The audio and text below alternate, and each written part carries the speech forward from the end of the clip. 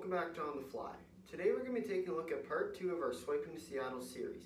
Today's topic will be the Arizona Coyotes. The Coyotes finished with a 24, 26, and 6 record, which placed them fifth in the Honda West Division.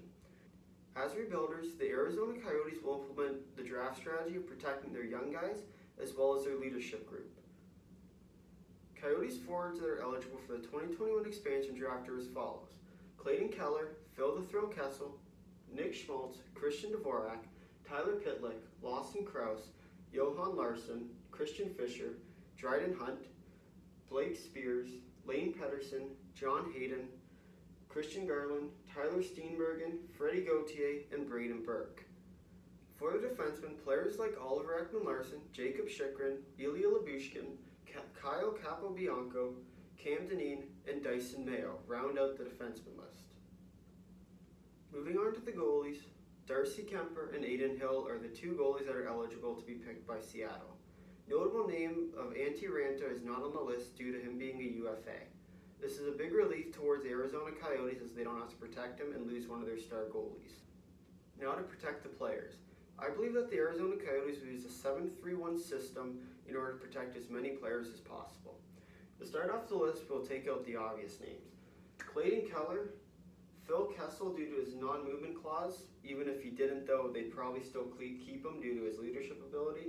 Nick Schmaltz and Christian Dvorak all name out the, the four key players in terms of their forwards. Their next item of business is to protect their young guys. Tyler Pitlick and Conor Garland are the next two guys that are kind of obvious in terms of their uh, expansion protection.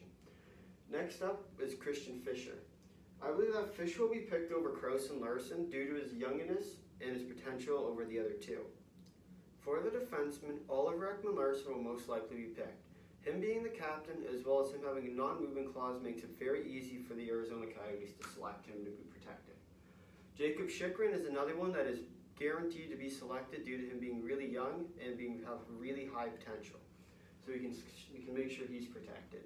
Ilya Lyubushkin would be the next pick, but unfortunately the Arizona Coyotes only have three defensemen that meet the criteria of that are being under contract for 2021 and have either played 40 games in the last season or 70 games in the last two.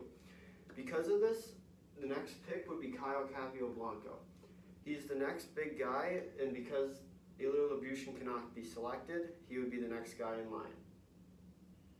Finally, the goalies. Adin Hill versus Darcy Kuemper. The pick is easy. It's Darcy Kuemper. Why? Because Darcy Kuemper will be their starter for the years to come. Adin Hill will be a backup and always will be. Even with Antti Raanta coming back, if they choose to sign him, he will still be the backup. If Darcy Kuemper is still, will still be the starter. Because of this, Darcy Kuemper gets the nod for the protected slot. Now for the selections. I believe the three most important players the Kraken will look at will be Lawson Crouse, Johan Larsson, and Adin Hill. Adin Hill will most likely be the least likely person to be selected out of these three. Him being a backup and there being better goalies in the draft will make him less likely to be picked. Then it comes down to Lawson Crouse and Johan Larsson. Crouse put up 13 points this year and, and Larsson put up 14. Although this was the case, I still believe that Lawson Crouse has more room to develop, and that's why I picked Lawson Crouse to be Seattle's second pick. And like this, Lawson Crouse will be the second player the Seattle Kraken will pick.